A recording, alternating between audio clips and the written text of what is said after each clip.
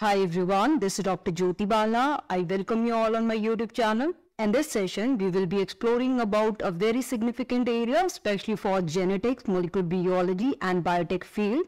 This is dark genome, dark transcriptome and dark proteome. So let's get started. Let's begin the session with the dark genome first. The dark genome refers to the portion of organism genome that has not yet been fully characterized or understood, especially in terms of its functionality.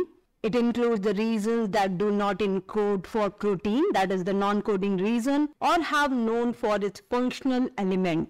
These regions were initially considered to be the junk DNA in the traditional molecular biology because they did not seem to have any obvious biological function at that moment of time. However, with the advent of technology, especially in the areas of genomics, epigenomics and sequencing revolution, have revealed that the dark genome contains important regulatory element that influences gene expression, chromatin structures and cellular function. The another area is dark transcriptome, which is consist of all the RNA transcript that are produced from the dark genome. These include non-coding RNAs that do not encode protein but plays crucial role in gene regulation, splicing and other cellular processes. The dark transcriptome is challenging to study because of some of these RNAs may be present at low abundance or in a specific tissue making their detection and functional characterization difficult. And the third significant area is your dark proteome. The dark proteome refers to the portion of organism proteome that remain uncharacterized and poorly understood. While the human genome has been sequenced, not all the protein it codes have been identified and many of these proteins function remain unknown. The dark proteome also include the proteins that are difficult to study due to their low abundance Let's try to understand the significance why these areas need to be explored further. The number one is to understand the dark genome and dark transcriptome and dark proteome is essential for unraveling the complexity of gene regulation and cellular function at the molecular level.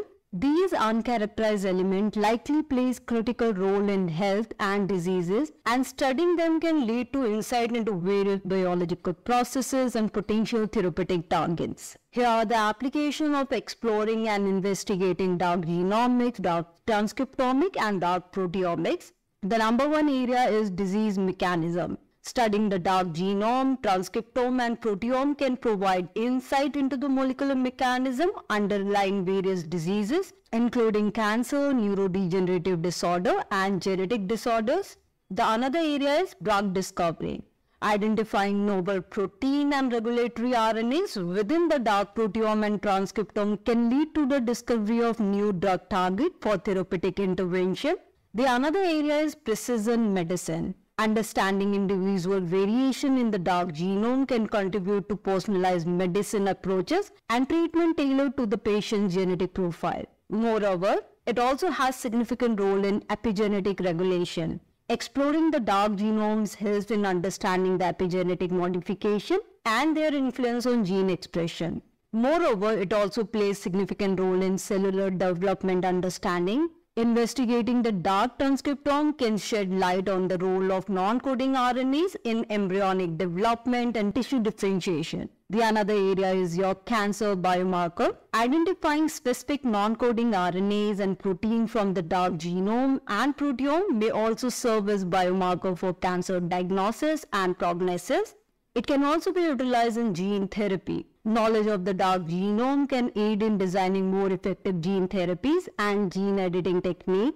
Adding to the list, it also has significant role in regenerative medicine. Understanding the dark proteome can contribute to advancement in regenerative medicine and tissue engineering.